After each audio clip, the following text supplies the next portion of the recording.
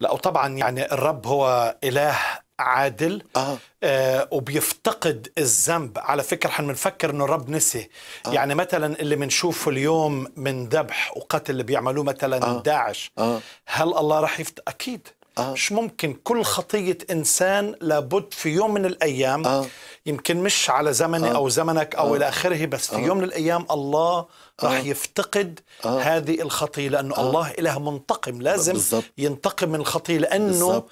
إله عادل بس من ناحية تانية آه، قسيس عزت إنه الله بعطي فرص بالضبط. يعني مثلا لما الله تكلم مع إبراهيم آه آه، من خلال العهد آه. قال له من صلبك راح يكونوا في أرض غريبة. آه. وفعلا شعب إسرائيل كان في مصر أكثر من آه. 400 سنة. آه.